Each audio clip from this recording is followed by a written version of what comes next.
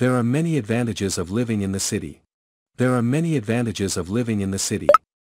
Everything you may need is close by starting with hospitals, banks, educational institutions, shops, etc. Cities also have a developed infrastructure like electricity, telecommunication, water and transportation facilities. While in the city you can get anywhere by public transportation or a taxi relatively quickly, to get anywhere in the countryside you have to have a vehicle and drive. If you are unemployed and are looking for a job, the city provides a lot more employment opportunities. High-paying jobs in finance, medicine, law, retail or advertising tend to be found in the cities. One can also work remotely, but that means fewer career options.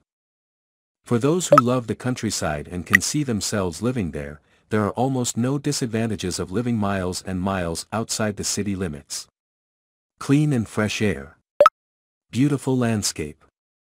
Life is slow and the quiet is refreshing. Sounds of traffic are replaced with birds singing and crickets chirping. Homes are larger, with lawns and gardens and their cost isn't nearly as high as in the city. But, there are also very few cultural and entertainment options. There are many advantages of living in the city. Everything you may need is close by starting with hospitals, banks, educational institutions, shops, etc. Cities also have a developed infrastructure like electricity, telecommunication, water and transportation facilities. While in the city you can get anywhere by public transportation or a taxi relatively quickly, to get anywhere in the countryside you have to have a vehicle and drive. If you are unemployed and are looking for a job, the city provides a lot more employment opportunities. High-paying jobs in finance, medicine, law, retail or advertising tend to be found in the cities.